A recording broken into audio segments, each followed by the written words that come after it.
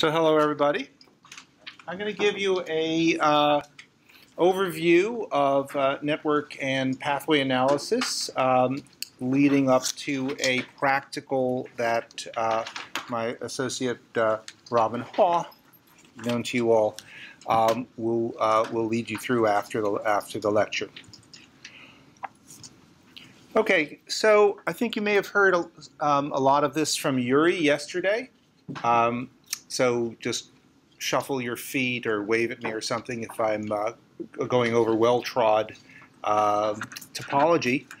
Uh, but the, the main reason people are interested in doing pathway analysis in cancers uh, is because of the dramatic size reduction of the data of the data set.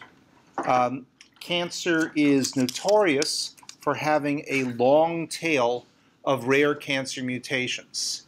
These are mutations which occur um, uh, relatively rarely, one or a, one or a couple of, uh, uh, of cancer, uh, cancers per 100 donors.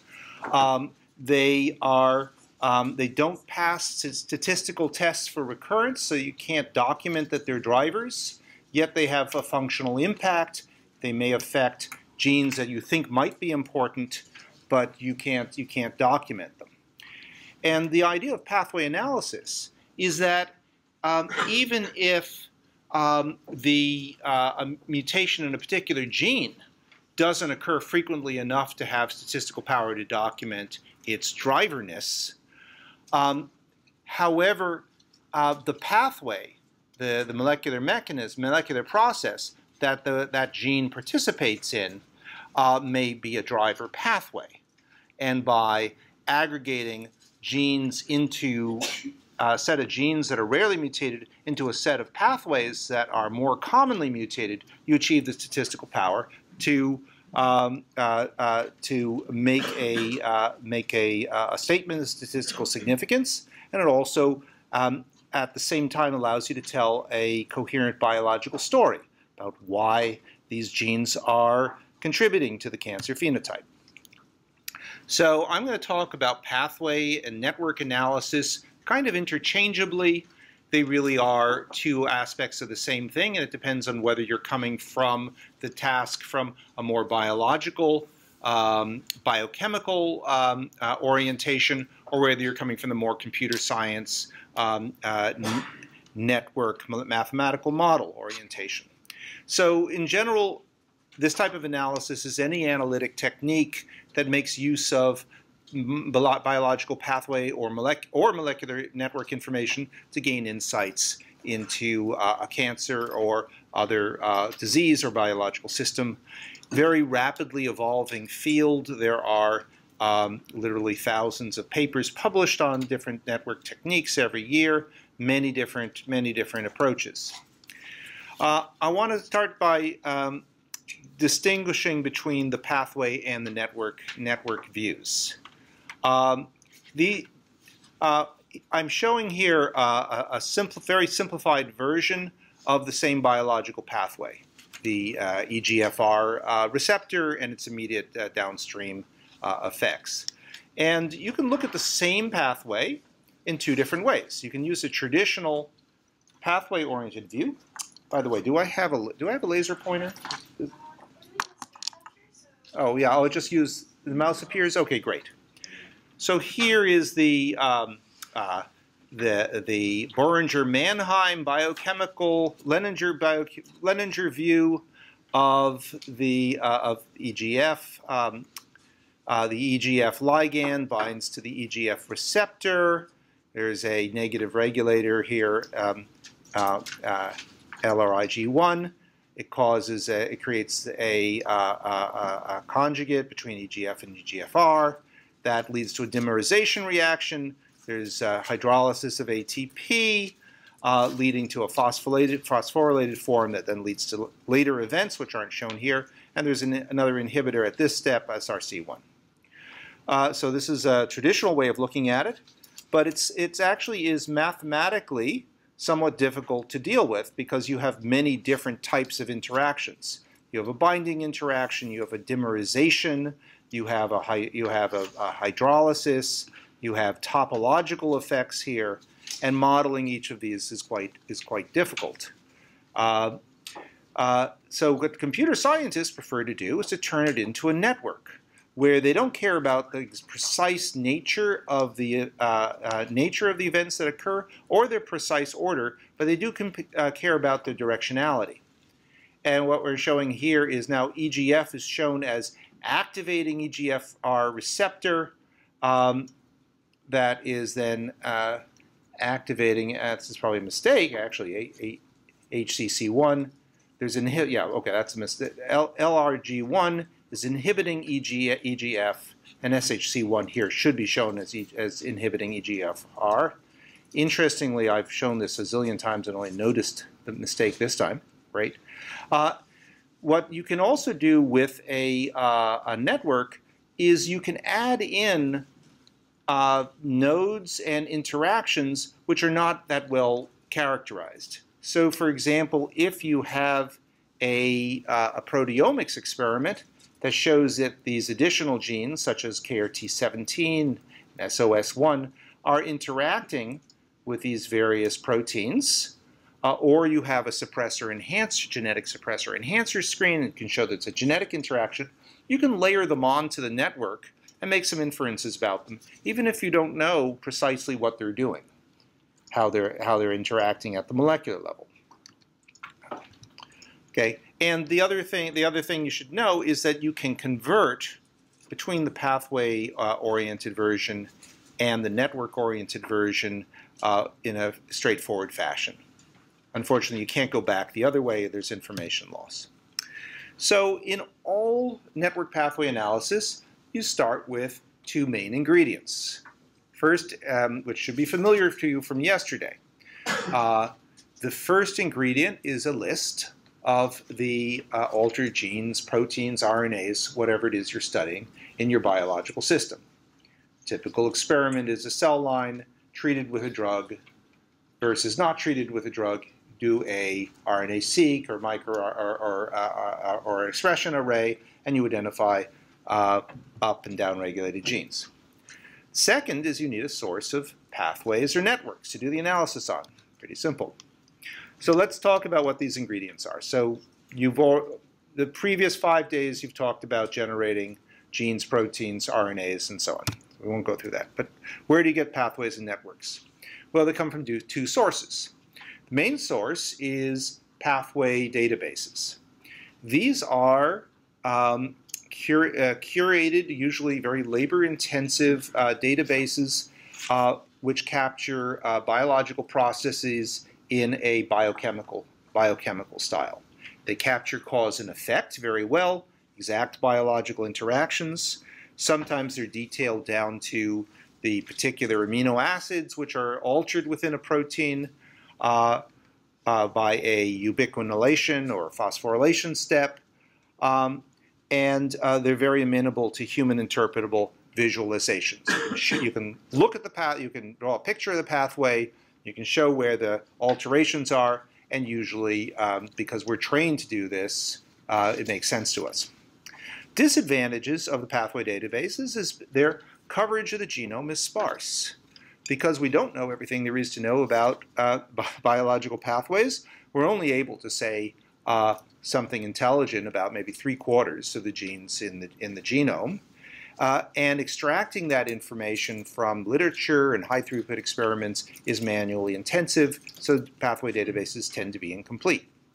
Also, because it is because pathways are uh, to many to much extent subjective. They are they depend on what part of the thread of the big tangled ball of yarn a particular researcher started pulling on. Um, different databases and different curators disagree on the boundaries of pathways. So for example, all the signaling pathways, EGFR, PIK3C, um, TGF beta, they all have in many interactions within within the cell. Yeah, you have a question? Uh, to me, also pathways are like cell dependent. Like the pathway in a stomach cells would be different yeah. from. So when they build these databases, what's the reference? Do they just kind of like how do they say this pathway is specific to X cell type? Yeah, very good, very good point. Uh, the yeah, the question is, oh yeah, right, we're on tape.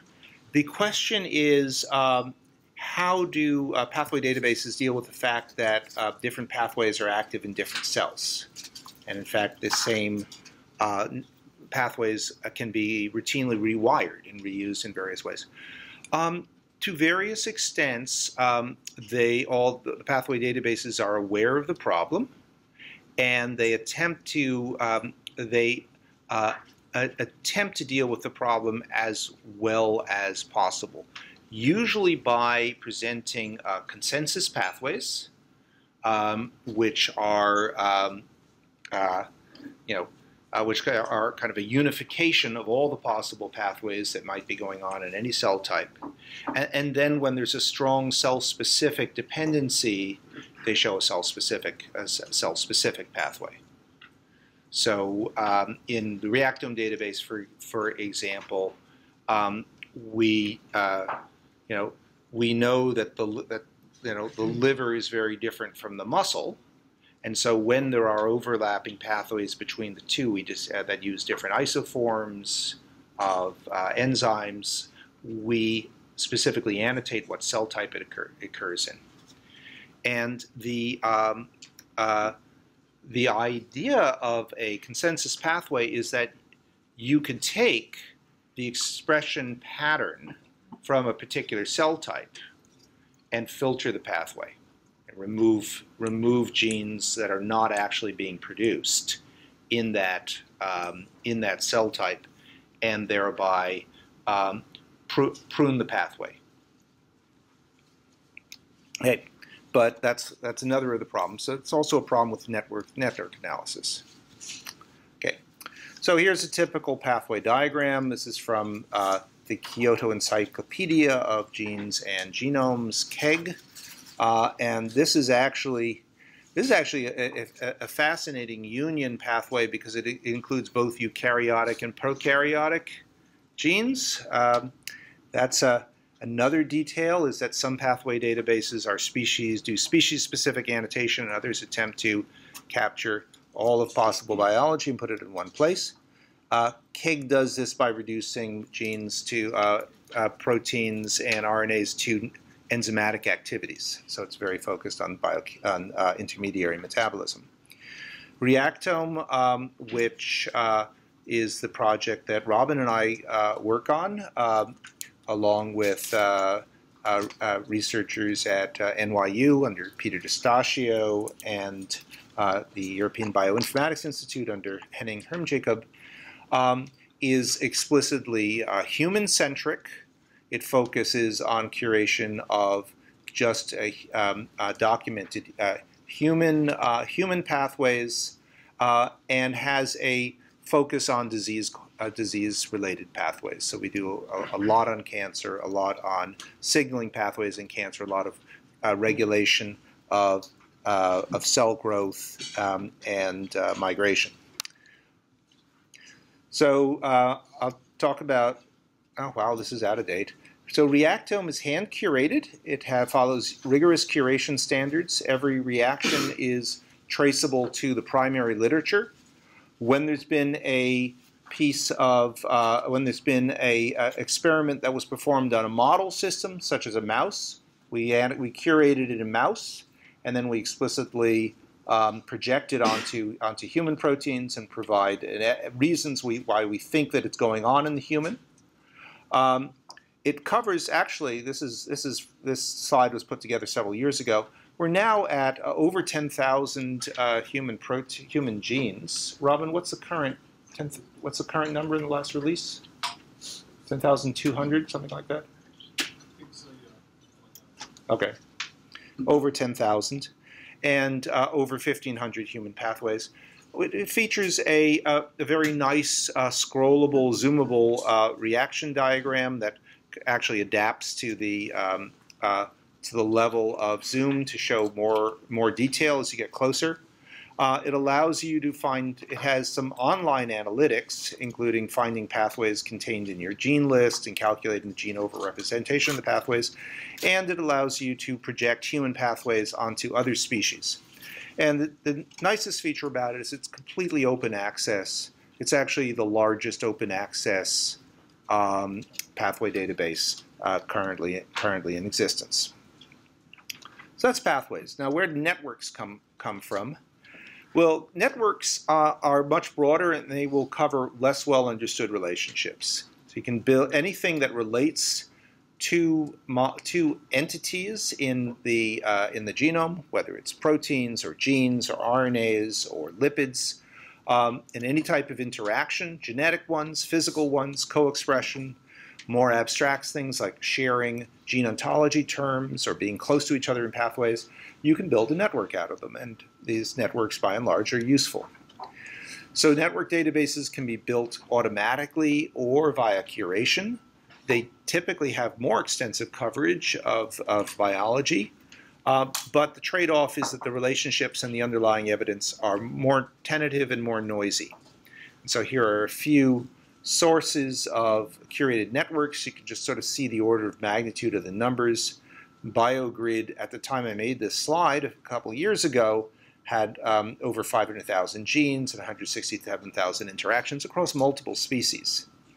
Uh, and um, uh, Intact had 60,000, 203,000 interactions. Mint had, Mint had fewer.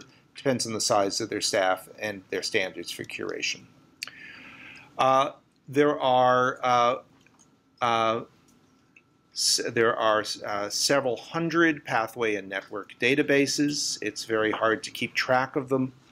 A resource that I recommend is called Pathway Commons. So it's maintained at Memorial Sloan Kettering, and it contains a um, uh, it is a um, it has two features. One is it has a big index of all the pathway and network databases. Um, kept relatively up to date. And second, for the major pathways and network databases, um, there's a file interchange a pathway uh, interchange system called BioPax, in which these all these source databases upload their their pathways into in, into the commons for people to uh, search and compare. So they're a union union of databases. Okay, so typically you won't be interacting directly with these pathway or network databases, except maybe to do visualization. You'll mostly be using uh, people's software tools, such as uh, URI's, uh, uh uh, uh, GProfiler or the Broad Institute's GSEA, and they draw on these pathway databases, create their own data sets that are used as the substrate for the analysis. So let's talk about the types of analysis you can do.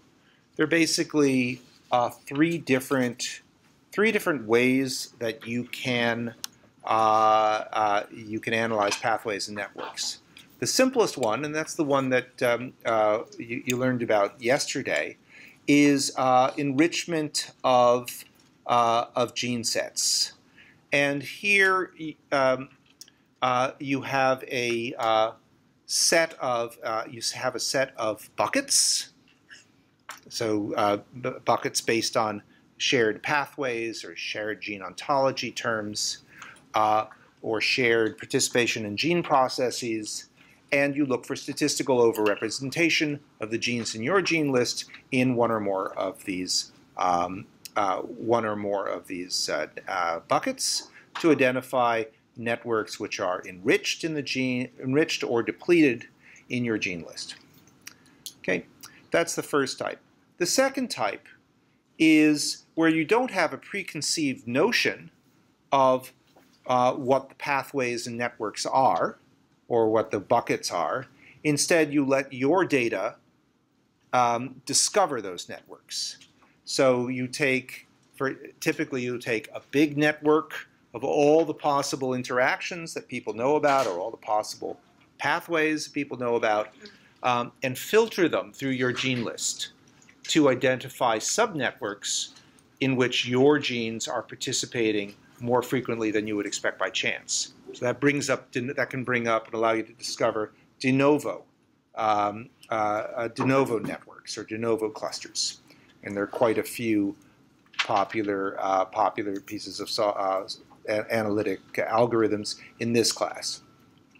And the final one is uh, pathway-based modeling, where um, um, uh, where you have built a a causal model of some pathway of interest, such as PIK3CA signaling, and then you put your uh, your data set, genes that are mutated in your cancer, on top of this model of the pathway to see what its integrated effects are. And this would allow you, for example, to test out hypotheses for synthetic lethals, what happens to the pathway when two different genes are uh, inactivated simultaneously. Each of these three uh, types of analysis has different uh, advantages and disadvantages. Uh, the, for the type 1, it is a gr uh, great way of finding out quickly what biological processes are altered in um, this cancer or the system that you're the system that you're looking at. So it'll give you a quick read that well I'm looking at I'm looking at uh, regulation of immune system, or I'm looking at changes in uh, in cell mobility, or I'm looking at something affecting the cell cycle. The second one allows you to find new pathways altered in the cancer and also allows you to find clinically relevant tumor subtypes. So for example, this subtype of medulloblastoma uh, affects the hedgehog pathway, and this one affects um, a pathway that seems to be a, a combination of, of Wnt, sig Wnt signaling um, and um, ARID1A. And the final one uh, uh, for pathway-based model, modeling uh, allows you to dig into those pathways in detail to predict how the path predict and later test how the pathway activities are altered in a particular uh, patient who may have um, a distinct cluster of mutations uh, and identify targetable pathways in, in the patient and do in silico uh, uh drugs, drug screening style experiments. Okay, so we're going to go through them quickly. The um, enrichment of fixed gene sets, I think you've already seen pretty well. The advantage of them is that they're very easy to perform, they're good end-user tools, and the statistical models have been well worked out. And these are stable pieces, these are stable pieces of software that will give you results. Uh, disadvantages are um, First, you have to pick your gene sets because there are many, many different dimensions of gene sets to look at, and you'll get different answers depending on which gene sets you check. The gene sets are very heavily overlapping, uh, and so uh, typically you will get um, many similar sounding, uh, many similar sounding uh, um, pathways or processes, and you have to go through a second step of aggregating them together using enrichment maps, which I, you talked about yesterday, right? You do enrichment maps? Okay. Well, uh, that's a technique which I'm not going to cover for taking um, uh, bio, uh, taking uh, pathway hits and grouping them together uh, according to shared shared genes and, and simplifying the results. And finally, because most of the fixed gene set uh, anal analytic tools treat the um, treat the gene sets as just bags of genes without any relationship among them, you're left to sort out um, why um, the relationships among um, among the genes inside those bags.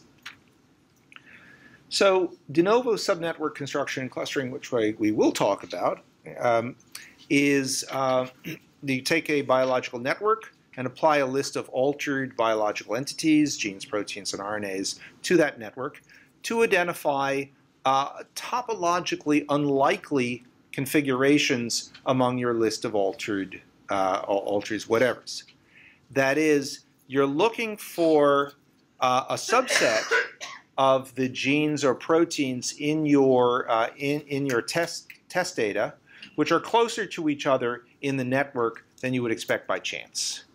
That is, they're, they're talking to each other in some way. They're not randomly distributed across the whole network. You can then extract clusters from these unlikely configurations and then annotate them by adding biological meaning to them. So here's an example of doing this uh, in, uh, in, in Reactome. Is using a tool called the Re- Reactome FI-Viz, which is a Cytoscape plugin. Um, so uh, you start out with a, uh, a network of um, uh, a, a, network of uh, genes or proteins. In this case, it's using uh, a, a reactome generated network called the Reactome Functional Interaction Network it's actually a union between curated, pathways that have been converted into networks and uncurated interaction evidence from a variety of sources.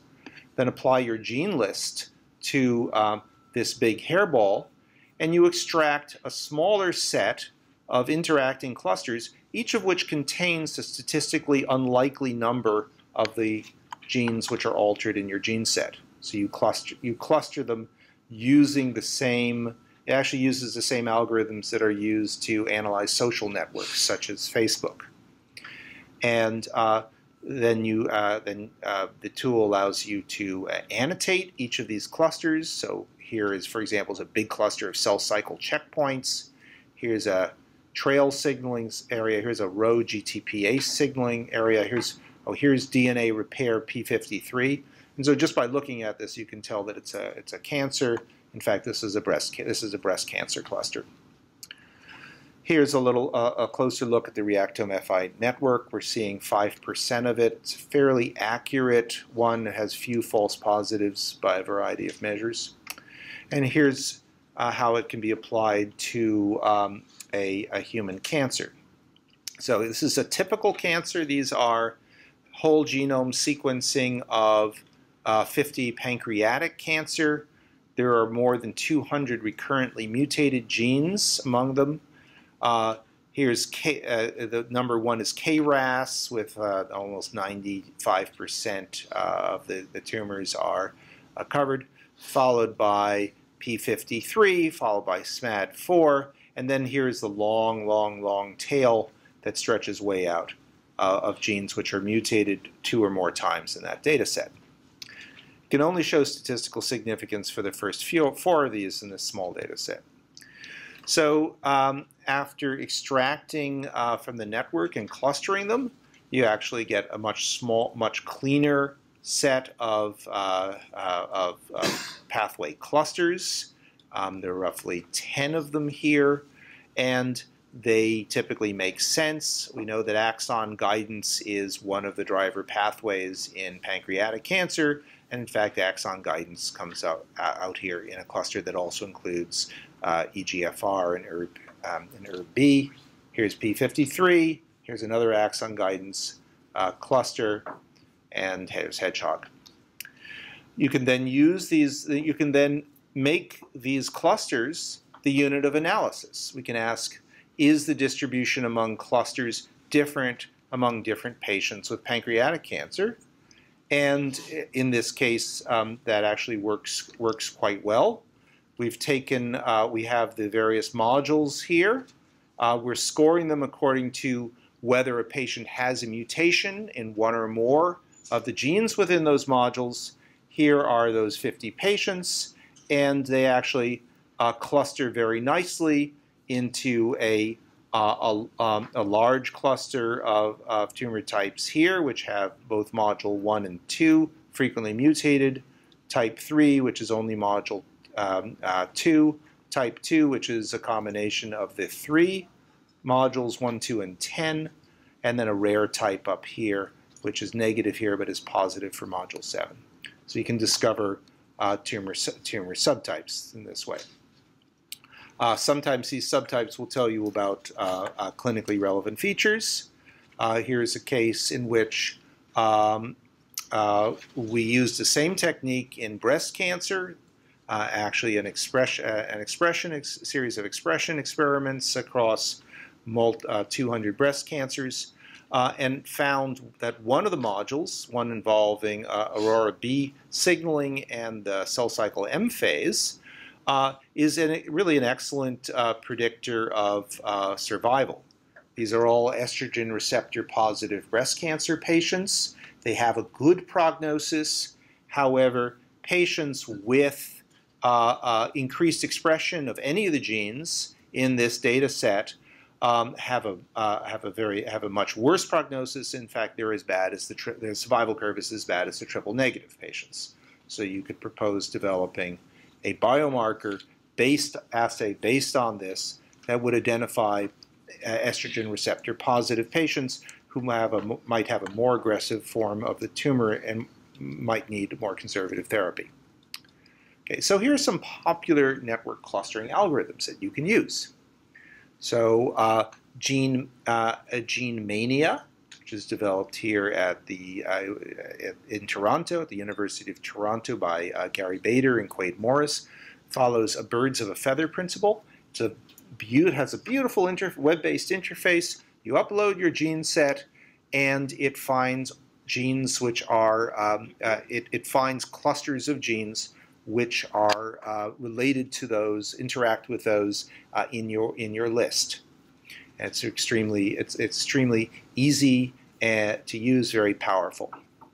Uh, um, a more uh, a somewhat more difficult um, uh, piece of software to use. It needs to be installed on your desktop. Is HotNet from Ben Raff, from Ben Raphael in the um, at Brown University. Uh, what uh, what this does is it uses a more sophisticated algorithm that, um, uh, given a network, finds um, uh, finds uh, uh, models the network as a metallic lattice. Um, ins you insert your um, you insert your gene list give with uh, with values. That is, uh, if you know a gene is activated, you put it in as a hot value. If you know it's inactivated, like a p53 um, uh, loss of function mutation, you put it in as a cold mod, cold cluster, and then it propagates the hot and cold genes across the network to find clusters which are predicted to be increased or decreased.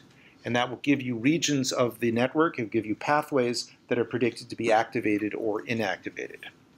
And its big advantage is that unusually well annotated genes like P53, which have thousands of literature references and have seem to interact with everything in the cell, those are actually down. Uh, there's a strong bias to, to, pull those up as significance. This corrects to, for that to some extent.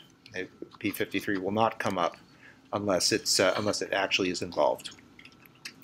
Then there are two uh, applications for Cytoscape how many people know Cytoscape? You've all seen Cytoscape. Great. So the two nice apps that you can get on the Cytoscape um, uh, uh, the Cytoscape uh, store. One is Hypermodules, written by Yuri. Did he talk about it yesterday? Okay, well, I recommend it. It's good. It um, uh, it is designed to find network clusters that correlate with clinical characteristics. So you put in lists of patients and the genes that are changed for patients who have some clinical characteristic that you care about, such as response to a drug versus not. And it'll combine those two forms of data and attempt to find cluster network clusters that correlate with the clinical characteristic. And then there is the Reactome FI Network Cytoscape app called Reactome FI Viz and it offers it, it, takes a whole bunch of the clustering and correlation algorithms out there, including HotNet, um, Paradigm, and and Paradigm, which I'll talk about later. Um, and it gives you a nice interactive way of converting pathways into networks, doing the clustering, annotating the clustering, and then correlating them with uh, clinical characteristics such as survival. Okay, the last type of analysis I'll talk about is computational pathway-based modeling. So here, again, you apply a list of altered entities that you care about, genes, proteins, RNAs, to uh, biological pathways using models which preserve the causal nature of that, of that pathway. It preserves the detailed biological relationships and the order of events. What these attempt to do is to integrate uh, two or more molecular alterations together uh, to turn them into lists of altered pathways activities. And it is sort of an entry, it's a, a gateway drug into systems biology. So the types of pathway-based modeling, um, so this is where um, this is this is cutting edge of of um, uh, of network of network analysis, um, and it's here where there are, there are lots of uh, lots of piece, lots of pieces of software that are in development at various stages of maturity, um, and there's little consensus in the community about what works the best. So I'm just going to give you a, little laundry list here. So there are the the oldest and most mature types of pathway-based modeling are partial differential equations and Boolean models, which uh, were developed, have been developed since the 1960s and are based on reaction kinetics. Michaelis, Menten, uh, uh, equilibria, and, and, and so forth. Um, uh, KAs and KMs, things that we have we learned about in biochemistry a long time ago. Um, they're mostly suited for biochemical systems such as metabolomics. Their primary use case is yeast in um, uh, uh, yeast in uh, fermenters, studying the flow of metabolites, uh, and they're good to. They can handle models up to about a dozen proteins and uh, interacting proteins, enzymes, and genes. Um, not usually not suitable usually for for cancer analysis. The, then there are network flow models, which were designed specifically for uh, kinase cascades. And the two that are most widely used are NetPhorest and NetworKIN. Uh, if you have a system in which you're studying perturbations of a uh, perturbations of a pathway that lead to a, uh, lead to phosphorylation products, these are designed specifically for hand for uh, modeling and making predictions from kinase cascades. Then there's a series of um, uh, network-based reconstruction methods designed specifically for expression arrays. Uh, one of the um, best of these is uh, ARACNe, developed by uh, Andrea Califano's group at Columbia University a number of years ago, and designed to pull out transcriptional regulatory pathways uh, from, um, from expression arrays and from RNA-seq data, uh, and um, to identify mass, what are called master regulators. So what the transcriptional regulatory factors that sit at the top of a transcriptional uh, pathway, it'll, it will identify them if any exist in your data set. And then there are uh, a, um, uh, there's, then there's software that uh, implements probabilistic graph models. Um, the most widely used of these is Paradigm. This is actually used at, uh, widely used for cancer analysis. And what, what PGMs do is to create a model of the positive and negative interactions in a biological pathway. So it explicitly converts a biological pathway into a network, preserving the uh, the directional directions of influence, and then from a data set it can learn the weights uh, assigned to each of those interactions. And then once you've trained it to learn, to, uh, trained it within your system, you can use it to make predictions, such as putting a cancer genome on it and seeing um, which pathways have been are, are altered and what direction they're altered. So here's an example of how Paradigm works, a very simple simple one in which I have MDM2 inhibiting TP53, and then this is leading to uh, apoptosis. And apoptosis is the activity that I'm interested in in modeling. Okay. So there's actually many different ways, uh, even in this simple two-step pathway, there are many different ways to change the pathway activity. You can have alterations at the gene level, the RNA level, the protein level. Um, and other levels as well. In each of these cases, there are different ways of changing the gene or the RNA or protein. For example, you can knock the gene out with a, with a deletion. Uh, you can increase its activity by duplicating it. Um, you can change its activity by a fusion that brings a promoter in. So all these various types of changes are modeled by paradigm. And the influence of the gene on the RNA on the protein is captured.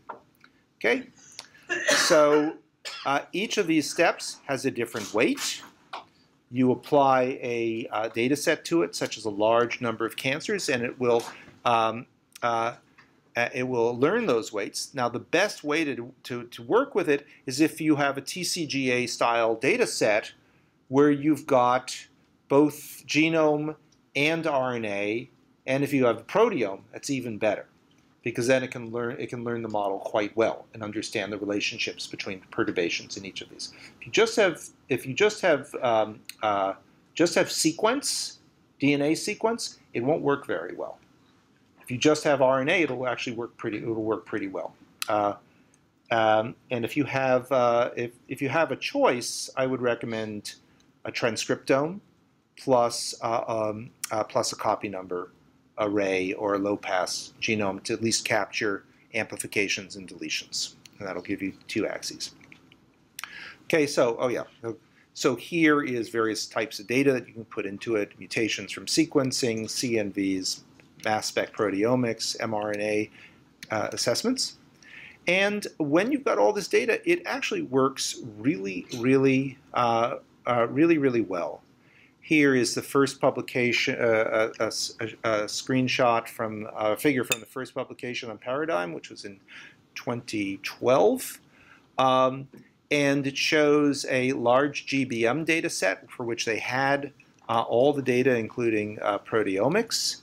Um, and uh, a, um, they apply, they built models of, um, of um, uh, about 30 different major pathways uh, and then use Paradigm to, uh, to predict changes in uh, pathway activity.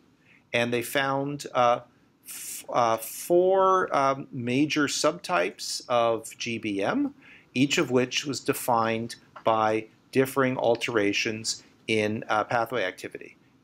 Uh, and unlike the example I showed you it, with, um, with clustering, um, it, it actually gives you the direction of the change. So with clustering, it says, well, this cluster of genes has changed somehow, but it doesn't tell you how it changed. So this is showing that in type 3 GBM, there is strong inhibition, downregulation, of the GATA uh, interleukin pathway.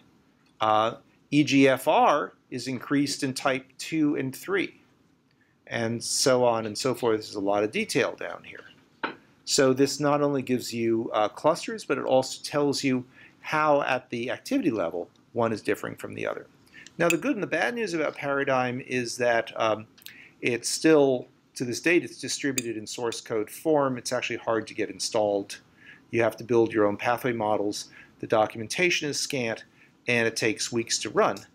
Uh, the good news is that um, as of several years ago, we ported it into Reactome FIViz as a Cytoscape app. It's now very easy to install and run. We include access to Reactome-based pathway models, and we've improved performance, and it now takes um, uh, overnight to run rather than weeks. So um, that yeah, that is the um, the rest of the lecture is uh, you know uh, references for you. They're in your printed notes.